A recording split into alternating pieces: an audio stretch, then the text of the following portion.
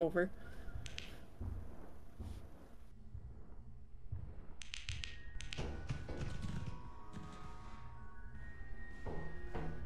Tarkin. Well, good news, I don't see anything behind you moving.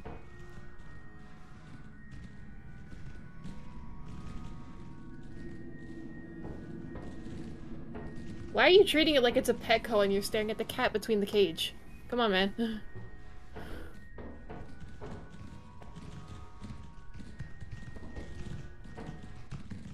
you having a dance-off? What are you doing?